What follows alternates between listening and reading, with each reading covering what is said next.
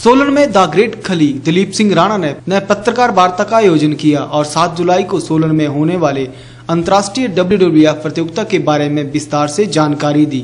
उन्होंने कहा कि वह हिमाचल में पहली बार अंतर्राष्ट्रीय स्तर की प्रतियोगिता का आयोजन करने जा रहे हैं जिसमें 10 पुरुष रेसलर एवं पाँच महिलाएँ रेसलर बाहरी देशों से आएँगे और रेसलिंग का प्रदर्शन करेंगे। उन्होंने बताया कि हिमाचल के टूरिज़्म और खेलों को बढ़ावा देने के लिए वह इस प्रतियोगिता का आयोजन कर रहे हैं।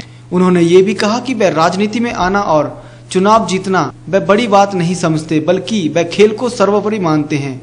इसलिए वह ये प्रतियोगिता करवा रहे हैं, ताकि हिमाचल, जो अपनी खूबसूरती के लिए मशहूर है, वह खेलों में भी नंबर वन बन सके।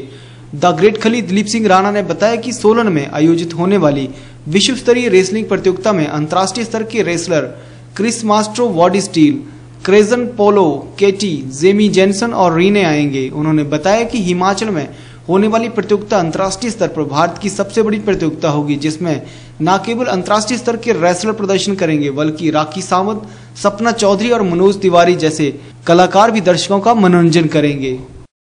हम दो प्रोग्राम करा रहे हैं हिमाचल में। उनतीस जून को मंडी में, सात जुलाई को सोलन में हिमाचल में। फॉरन से रेसलर आ रहे हैं। डब्ल्यू देखते थे आप टीवी पे।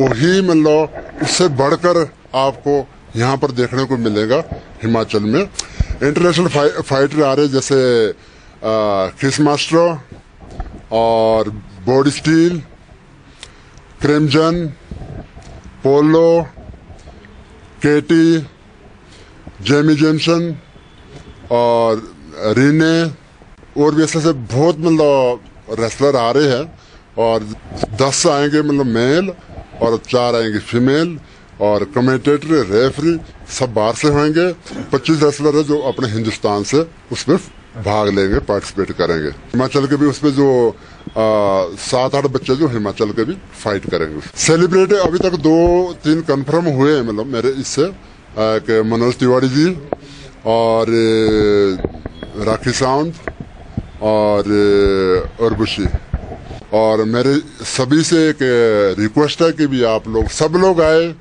और विद फैमिली आए। सभी एक शो का एक आनंद लीजिए।